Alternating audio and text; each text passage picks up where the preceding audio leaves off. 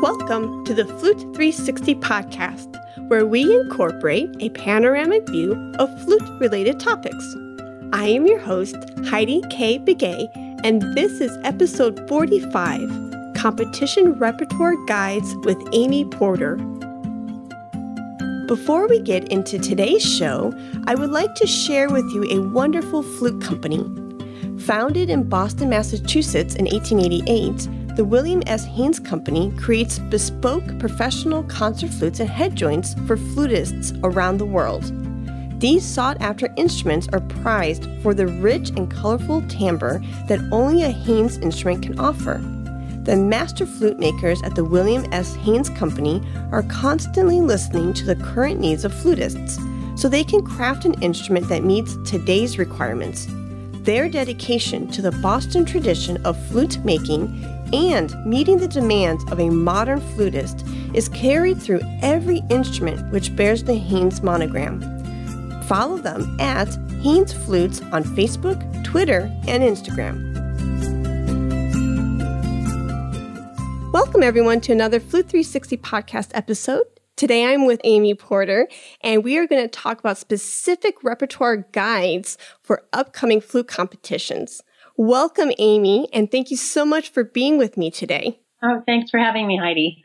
Great. So let's talk first about competition advice. What is some advice that you give to your students when they are preparing for a competition? Well, I often talk about my advice in terms of a lecture that I give called Competitions Repertoire, Research, and Rewards. And I think you have to look at it that way. You have to ask the question, why am I doing a competition? And some of the questions can be ranging from where do I fit in, in terms of locally or nationally, or in terms of your school or just in terms of your heart. You know, you just want to know if it, this is the right thing to do. So a competition is a great way to expand repertoire and expand your why, as we call it.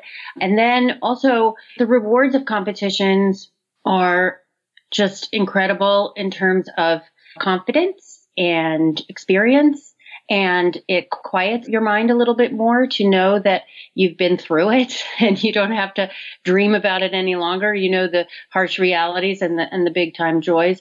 So in terms of repertoire, we should play repertoire that best suits us and not try and think that we're going to attain some level of grandeur because we've chosen a really hard piece. It doesn't really work that way. It actually works in reverse. If you don't play something that makes you sound good, you sound worse. So uh, my biggest advice is play something that showcases you well, something that you love and you want to wake up every day and play because it's a daily effort to do a competition. Another piece of advice I give about repertoire is check the additions. I think it's important to know what the composer was striving for. And we play all over the world in different countries and we all play different ways. And unfortunately, we are categorized as our country ascribes. You know, we're an American flutist or a French flutist or a German flutist. And I think if we could all just come together and play music, and represent our artistry that wins competitions. And that I hope is the only way I've ever gotten a prize is just through being myself. Extreme musicianship. I call it. Mm-hmm. It's something that is selfless. It's something that's scholarly. It's something where you really attempt to bring the composer and your variety of genres to the fore. So if you can bring your repertoire and your additions you know, the scholarly editions and everything uh, into a beautiful equation into your own product. You bring that into a competition. You cannot be judged anymore because you are representing your work and your heart and your knowledge. And it doesn't matter where you're from. Now, it does matter where you're from if you are going to go somewhere to do a competition. I that's a completely different podcast, I think. Yes.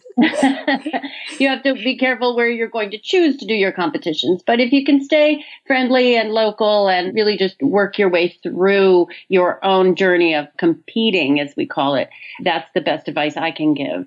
And the rewards, I would say this is my advice who is anyone to judge us in the end hmm. when what we're doing is beautiful? Hmm. So when it comes to beautiful person pitted against another beautiful person mm-hmm. and someone gets the money and someone doesn't, and let's say you don't get the money, I think it's still in your best interest to never give up and just keep leaping, you know, and understand that if you're getting as far as you are in competitions, it's a validation. Hmm. Keep going. I have many, many, many friends in many, many, many beautiful jobs now. But 25 and 35 years ago, we were all together and we were not who we are now. And we were struggling and we were watching Jean-Pierre Rampal and we were watching James Galway. We were watching our teachers, Ms. Baxtresser and Mr. Baron and Mr. Baker. And Mr. Baker was not my teacher, but he was there. And it was all our, um, it was people you could rely on to give you really amazing feedback.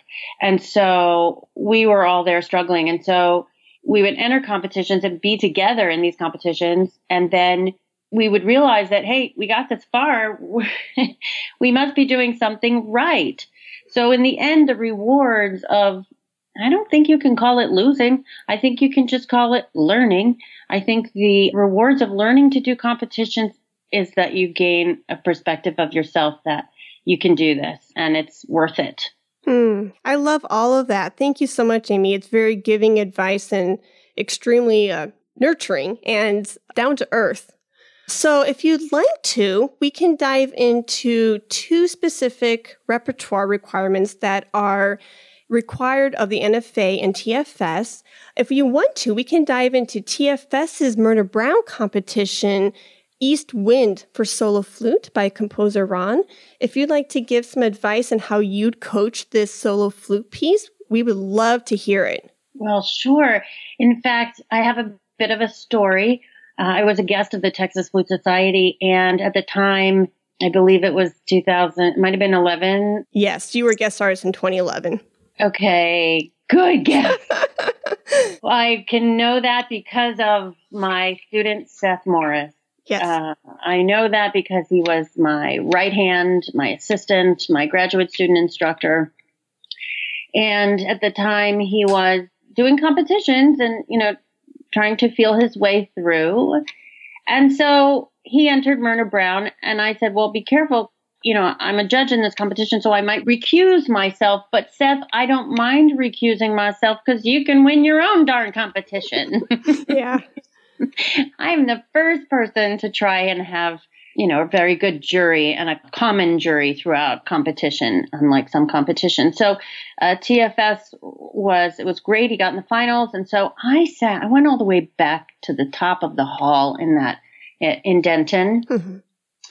And I sat in the top row and Seth played the East Wind like it was meant for him. Hmm. And the last note, I said, listen, Seth, the last note. People don't listen to the middle of the piece. Hmm. Seriously. Maybe the jury does, but in general, you're taught in performance as a soloist. People listen to the beginning and then they listen to the end. Mm-hmm. And they come out and they say, wow, wasn't that great? And they don't really talk about the middle. So I said, listen, at the end, it's a, it's a real big dip down. Mm-hmm. And you need to dip as far the tongue dips, the frown dips, the head can dip, your torso can dip, and you need to keep that air flowing though. So take a big breath and just don't give it away and like start bending and go right and right. and it goes down and he got so soft literally heidi he blended in with the air handling system oh my gosh because he took his flute away and I was like, oh my gosh, that's the same pitch as the air. Whoa. Ah, I was so happy for him. I thought, okay, if he doesn't get this, that's fine. But wow, that was impressive. You know, let's go back to the opening, right? Sure. So I tell you about the opening and the ending. The opening, I'm really having success with the syllable hata. So if you say hata, and you, I'm not going to go loud because I don't want to peak yeah. but you just save it. So hot when you say hata, the act of sucking the air back in and saying ta, and then you you increase the vibrato, you increase it, you breathe and you come in with that as loud as you left the A mm. and you bridge the breath. So, so I'm always talking about bridging the breath. That means leaving a note, breathing, and coming back in on the next note exactly the way you left it. Okay. And that is so powerful. It's also powerful when you're having a moment when you're losing air. you're like, oh my God, I'm running out of air. And then so you're going, you think to yourself, okay, I think I'll just bridge the breath. And mm. so you come in and you, you enter again, not louder, but just at the same volume. So, you know, it's very forgivable. Right. So I would say that and then again, keep up the momentum. The whole first line, the whole second line. It's just this, it never ends. Hmm. It's punching you in the face this whole time, this, pa- this piece. And, um, I have to say that's the way uh, Seth uh, practiced it and performed it and ended up winning this competition. So I'm I'm happy to see that it's back um, in seven years later. It's very powerful. Of course, it's got a uh, biblical references, but if you listen to Ms. Ran talk about it, it's very powerful for her. Mm. She the flute is a powerful instrument. So I'm happy that the flute can show power other than the way people are used to it. Right. I love the adjectives that you use to describe this piece and saying powerful and it punches. And I think those are great adjectives to describe this piece very well. I remember when Seth Allyn was announced the Myrna Brown winner, and I remember your face just lighting up and being so proud of your student. That was a very special moment for me to witness. That's great that you were there. What a nice, what a nice thing. Thank you. Yeah. So Professor Ran had kindly emailed me. I emailed her and said I would be talking with you and would she like to do a three way call? And unfortunately, her schedule was super, super busy and she couldn't, but she sent me this oh. lovely email and she put a lot of time into it. And she said, that, of course, in addition to the performance notes at the back of the edition for Theodore Presser, she listed more comments that I'll put on my website. But she wanted to make a point to talk about three different sections in this piece. And the first part, for those of you who have the score in front of you, the first part starts in the beginning, obviously. But the second part is at tempo one, at the very end of the page.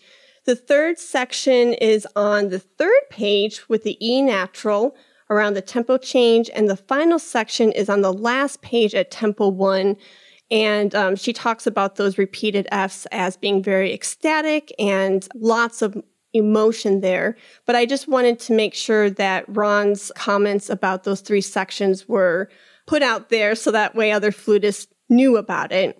But yeah, it's a very exciting piece. That's extremely fortunate information coming directly from the composer. It's incredible. Yes. Yeah. And just to see her, and one of my series was where I had talked with composers and getting into their mindset and how they prepare Eh, or how they go about the compositional process, like what's their mindset and how they approach composition and composing flute pieces. And one thing I learned a lot from Gary Schocker and Daniel Dorff is that sometimes they have a formal plan, like the one I just listed from composer Ran, and that really helps them navigate their emotions and what they want to be communicated to their audience. So I think just having the composer, like you said, giving that information is very helpful. So, if there's not anything else you would like to say about East Wind, I would love to hear your thoughts about Telemann's A major fantasy.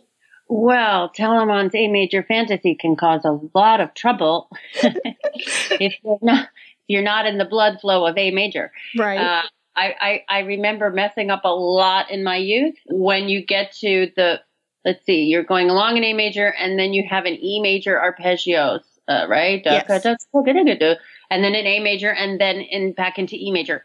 So something that I've discovered in my teaching life is that the G sharp key is invented to mess you up. Mm.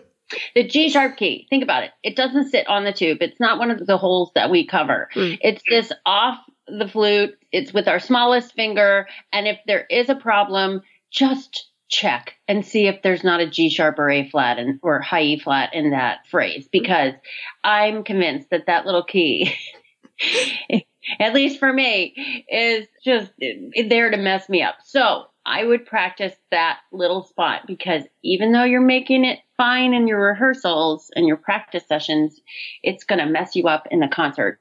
Hmm. So I watch out for those beginning arpeggios. I call it defensive playing. Put your boxing gloves on. Just say to yourself, this could mess me up. Am I ready for that? You know, not, oh my God, I hope I don't mess up. But no, I'm not going to mess up. Is this going to, you know, mess with me? No, it's not. And whenever I've said that to myself, it's gone really well. Oh, wow. it's not like I have to look at it closer. I just have to say yes. And the word yes, whatever thing you call down to help you, the word yes is super powerful. And you say, yes, I can do this. That's that silly opening. That opening is really hard. So, of course, I don't need to talk about how I play it because I've made a study guide on it and then seven years later released the audio of it because it was kind of hiding. So what I think of this Fantasia is that it, it's unlike any of the others. It should be unlike any of the others. He wants to teach us through these. So this one is about the different moods. We have recitatives, we have dances, we have beautiful melodies. So you have to play each little section with its own character. And of course, he does say allegro and then adagio later on with the A major arpeggios coming down. Mm-hmm. But who says you have to play them loud or soft? You could also articulate some. You could also add some ornaments. So just because it's an echo doesn't mean that it's necessarily only soft. It could be ornamented or toned, okay. uh, articulated, just like I said. Then we get to and, and basically I, I find it's in just two sections and then the final you know Telemann ended all of his fantasias with a dance and so you have to know uh, the dance style it's actually slower I da da da da da da da da da da you know it's not very racing mm. you know not running and take your time with the trills trills are very delicate it's fun when you think of the wonderful Keith Underwood suggestion of trilling where your key next to the one that's trilling is firm.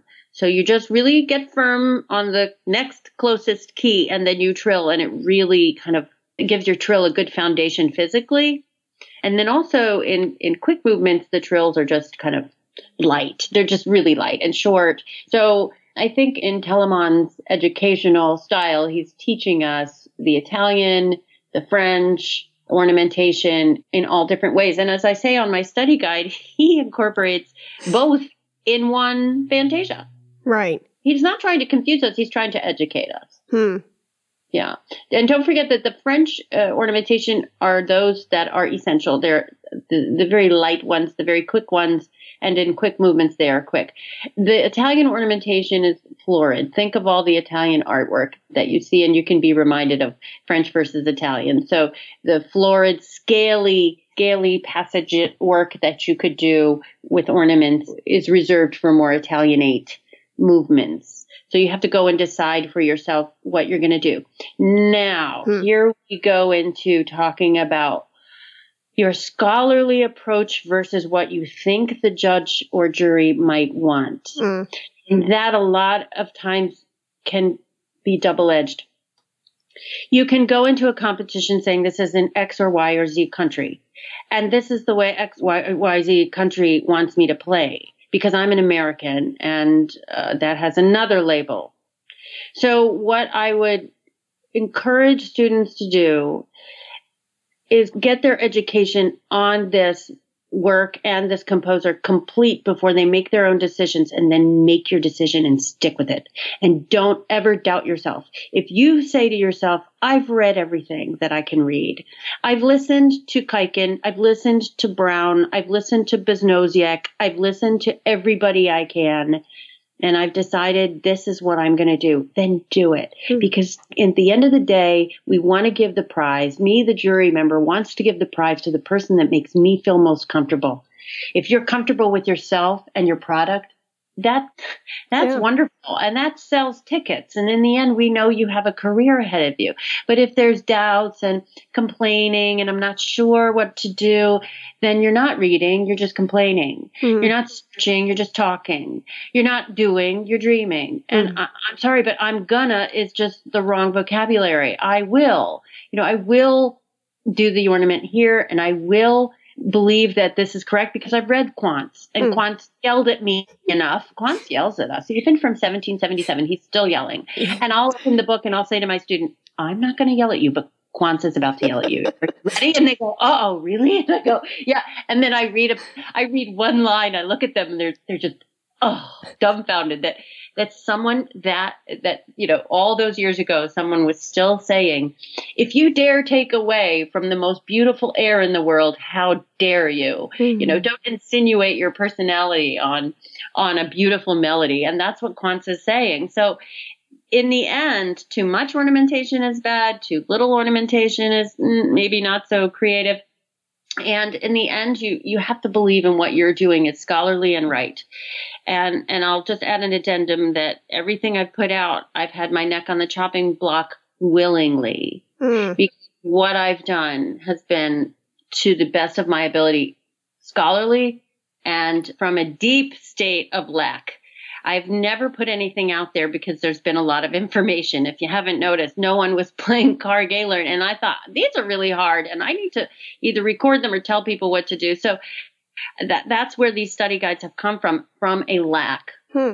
Yeah, you saw a need and you wanted to fill that niche in so that way others could benefit. Exactly. And I'm happy to say, you know, it trended, uh, especially the anatomy of sound workshop kind of philosophy. I'm happy to say I think that's that's been the the biggest source of pride for me to see go forward was that the whole philosophy of my anatomy of sound. So um, anyway, but I, I digress. I just back to Telemann. I think the biggest thing you could do for these competitions is come out and play your Telemann uh, the way you feel it needs to be. Now, let's talk about a little bit that horrible word vibrato when it comes to Telemann. I've found that if it can be in the back of the sound where it's not quite present, but it's kind of floating, Mm. and that's the best vibrato you can use, especially for NFA for those players. It's just a, a huge melting pot of players there who celebrate all kinds of styles. So I try to train my students to please everyone. So I know how to teach an excerpt, for instance, saying, some conductors like you to go here, and some conductors like you to arrive here. So what I want you to do is arrive both places. And they end up winning the job because one conductor thought they went to their place and another conductor thought they went to the other place. So, wow. know, it, yeah, it, it's very interesting in a competition to just say, this is me Hmm. and this is what I know to be true. Hmm. And if you don't agree with me, I wish you well. Right. But just that confidence element, I love that. Just saying you've done your research, you've listened to recordings, and at the end of the day, you experimented as an artist and you were creative, and then here is my art. And Yes. just owning that. I think that's beautiful advice. A lot of people are scared to own their stuff.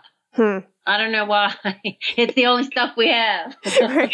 well, nobody else is going to give you, you know, advice for your own stuff uh, better than you, you know. So I just think that if you can have confidence that you're actually picking up the flute in the first place, that's what you need. Hmm. I'll tell you, uh, exercise, a very difficult exercise that I, I do.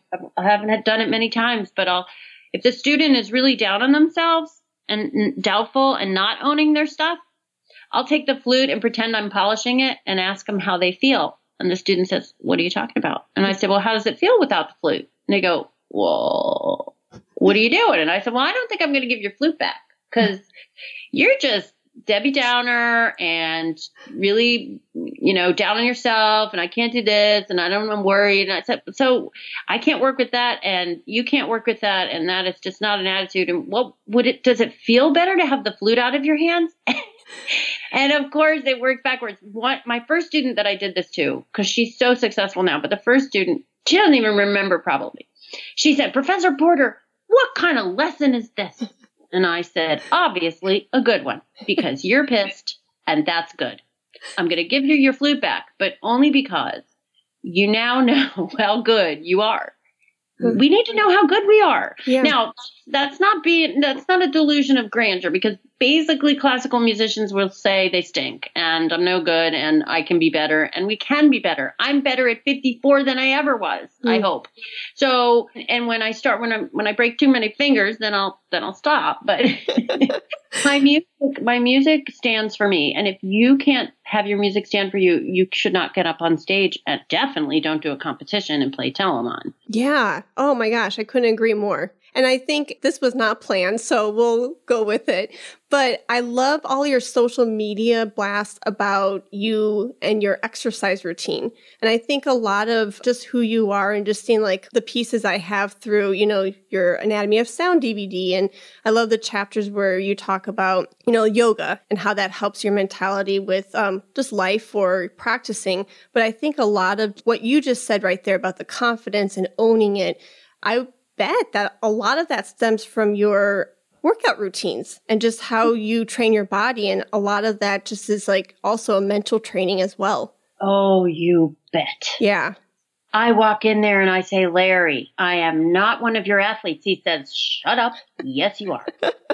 I, so one day I was in an outlet and I saw this t- t-shirt that says athlete, athlete, athlete, athlete, athlete in all these different colors. And I had to get it because I had to wear it during my workouts to remind myself that for him, I'm an athlete. Mm-hmm. Okay, so let me let me start from the beginning. The first time I ever sat on a yoga mat, I couldn't believe what happened to me. It was one of those situations where my student kept saying, "My mom teaches yoga. My mom teaches yoga," and I thought, "Oh yeah, I need a good stretch." And here I was, I I was I had been a, a little bit of a you know we had to do sports in our little school in Delaware, but at Juilliard I was just walking to school and I was just maybe going to a bar class or something, but mm-hmm. nothing. There was no physicality at all. Hmm. And so when I sat on a yoga mat, what happened was something that I, I didn't expect. And that was that I uh, turned on a light inside of myself. Hmm. And when you turn the light on inside of yourself that you're given and that no one else can give you, you can only find it yourself. It was green. And I realized that's the color of my eyes. Hmm. So I went for yoga not as a religious experience, but as a kind of a a, a, body awareness. And I went to retreats and I did Kripalu, which is across the street from Tanglewood. And I thought it was so funny that there I was back up at Tanglewood where I had been in my 20s. And then I returned across the street to the ashram for a week just to see what it was like. And, and so I dabbled in just taking classes and it stuck with me, you know, just throw your yoga mat in anywhere. And the yoga mat gets powerful when you sit on it. Like I said, it's not like a religious thing. We're doing animal poses. We're doing postures that you practice your entire life because they evolve. And so, you know, your hand can always be straighter. Your arm can always be straighter, but it's, you're growing and you're, and they say flexible mind is a flexible body. Flexible body is flexible mind. So with that at 30, oh gosh, I got here at 34. So I got my job at 34 and throughout the Atlanta Symphony time, I had uh, learned to run from stop sign to stop sign in my neighborhood, but in no way was I a runner. So then I started running. I started running a little bit, but like I, I, I don't get really, really big time into everything. I just, just want to try it. And so I tried running and I've been running ever since. I, maybe I'll do four and a half miles I'm not going to run a half marathon. Mm-hmm. You're not going to get me to run a half marathon. I just want to keep my weight down. Mm-hmm. And so the biggest word in weight loss is the word. It's just one word.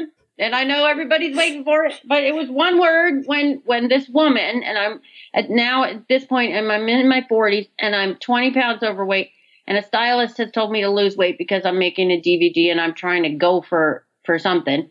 This girl looks at me. She gets down in my face. She says, if you don't, we're in the middle of a training session. She said, if you don't get lower, I'm going to make you do 20 more. Hmm. And I said, why? And she said, because this is the strength that you need to go through your life. Hmm. And the one word she said was cardio. Cardio, cardio, cardio is what we need the heart rate is a muscle. The heart is a muscle. It has to be taxed. It has to be trained. It has to be pushed.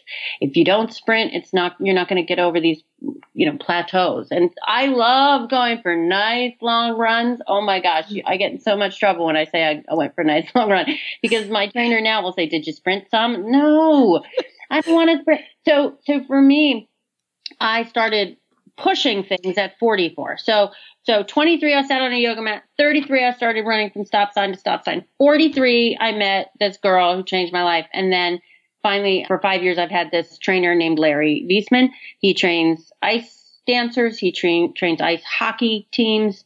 He's off ice training for a lot of athletes. Uh, he tr- trains pro tennis players. And he's got his own gym. And so it's just me. Hmm. and I don't have to deal with anybody looking at me. It's awesome. So really what I'm doing is very private. Um, mm-hmm. when I post it, when I post it, Heidi, it's because of people like you and other pe- women saying, Oh my gosh, you're so inspirational. Mm. I don't give a crap about any of the other comments. The people that, that I'm inspiring are who I care about because I am inspired by people too. Mm-hmm. So, and other flute players who, who are working out. Like I said, I don't need to be an athlete. I don't need to, to weigh a certain amount. I just need to get it up 15 times and then it's done. And then I need to throw this around 15 times and then that's done. And then I need to get on the stepper for a whole minute and then that's, you know what I mean? I do it. And when he tells me to do something, I do it. And yes, I get, I get my anger out. I get my joy out. I come in some days, I can't do it. And he says, okay, if you can't do it, you can't do it. Hmm. And he's right. If you can't, you can't. Right. But if you can't, if you can, then you can. And he has made me teach better, sleep better, hmm. eat better. He'll say, "Have you been in the kitchen again?" He makes kitchen like sound like a bad word. so really, Heidi, to be honest, this has just been survival of the flutist, you know, in terms of physical, physical survival mm. of playing flute physical survival, breathing, getting the sound out to 1100 people, mm. being able to tour, getting up and you get off a plane and they say you have a press conference now. We'll let you go up to your room for a couple hours. well, you know what I mean? Thank God I work out and I train so that I have the health to tour, that. I have the health to not get sick, you know, all the time, that I have the, I, I don't know, it's just yeah. been so beneficial to everything, including uh, what I feel is called aging backwards, where hmm. I'm in more sh- better shape and feel like my skin and my, you know, everything is in better shape because the cardiovascular system is there, because the muscles support joints, because, you know, muscles support bones. It, it's so important. So hmm. for, yeah, I, I really don't care what the, what anybody thinks. Uh, yeah. Yeah, but I appreciate you asking. Yeah. no, I think it's great because I really got into this cardio frenzy at the beginning of my DMA because my main thing with studying with Lisa Garner Santa in Texas was she just wanted bigger, you know, a bigger sound for my sound to project. I'm like, I'm blowing, I'm blowing. And she's like, you have to run. You just need to run every day, at least a mile before you start warm ups. And my only experience with running beforehand was not good. I did not like it. And I thought, okay, well, I'm in my 30s now. Maybe I have a different mindset. And when I got into on a treadmill or I got outside and started running, I became addicted. I mean, I just love it because like you said, I can sleep better. I have more energy. My sound just popped. I mean, it, it almost felt effortless and you just feel really good. And when you feel good, I mean, that's obviously going to go through, you know, the different areas in your life.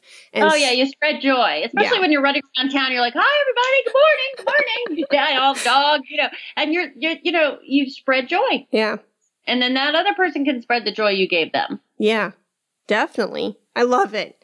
Perfect. so, in the last segment of the show, Amy, if you have any picks that you would like to offer the listeners, feel free to share. Oh, goodness. Ah, uh, picks. So, yeah. books or. It could be a book, a movie, it could be a recipe that you like to go to, a restaurant, a flute related thing. It could be anything you want.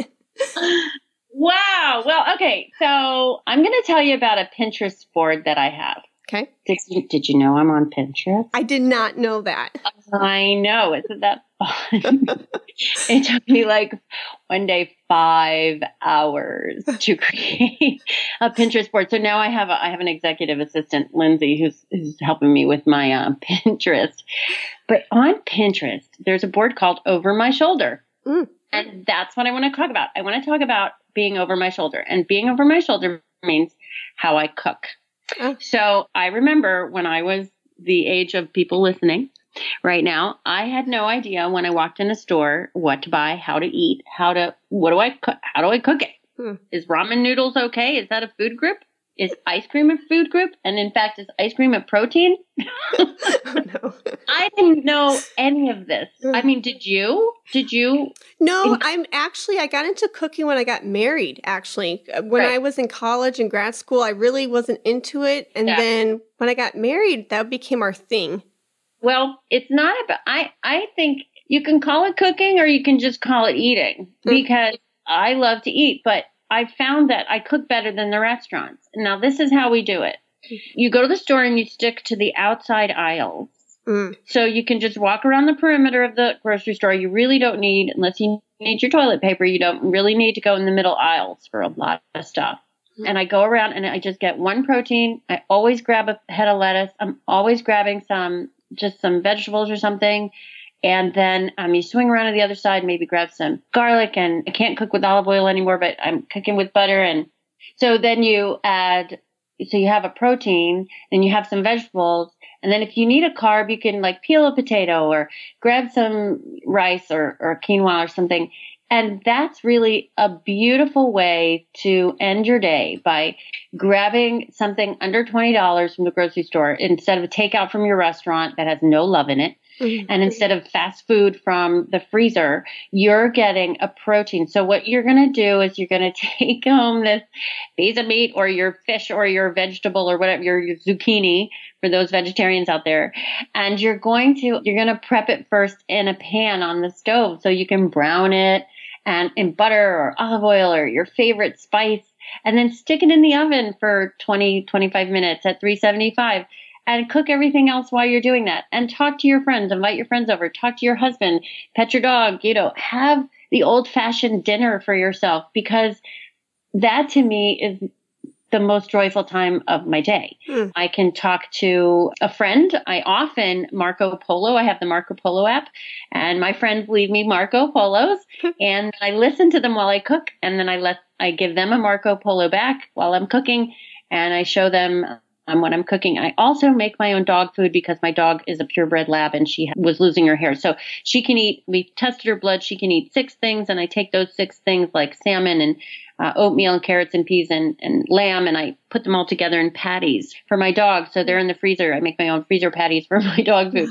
So the food, fresh food is super important. And I think that's the advice I'd give to all the young, younger flutists out there that enjoy food and music is that your best meal is by you. You can cook. And if you just do a protein and, a, and some veggies and just a little bit of carbs, um, um, and you're just going to have a, a much better life. And when I learned this, my life, my life completely changed. Yeah, I couldn't agree more. I mean, this podcast actually started with series one and talking about how to take care of yourself first and foremost. Because I mean, it did. Yeah, yeah, yep. That's awesome. Yeah, because I had this like epiphany. You know, again, I don't know what happens in your 30s, but in my 30s, I had this epiphany like.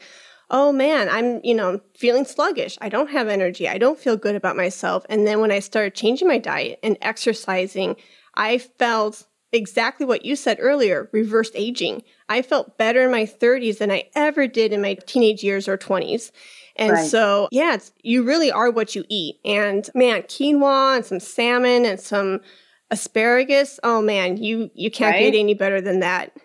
That's pretty darn cheap. Now, I did hear a woman the other night, and I had to shut my mouth. I, did, I just listened, but she said, "Oh, exercise. Who has time for that?" Yeah. Who doesn't have time for that? Yeah. I mean, you so, could just do 20, 30 minutes if you're really pressed for time. Well, but. yeah, but it has to be very, very, you know, sweat you can't just oh, read your read your social media and sit and go up and down oh, on something. No. That's no fun. And then take a selfie. Yeah. Say, I worked out. I worked out and look, my makeup is perfect and there's no sweat marks at all. yeah. Oh shoot. You got to work for it. Well, stuff doesn't start showing up until your 30s, and um, yeah. in your 20s, you think you're pretty much um, impervious. But um, but you should feel that way. I think, I think when I was in my twenties, I could do anything and, and I felt like I could. So I encourage everybody to get their, get their gusto up and, you know, take a walk around the block if you don't believe in yourself because you're the only one who can believe in yourself. And then you'll start exercising and eating right. And, and then you'll play great flute. Yeah. I couldn't agree more. Well, thank you so much, Amy, for your time and expertise. And we so appreciate your willingness to share the knowledge you have about these pieces and competitions in general.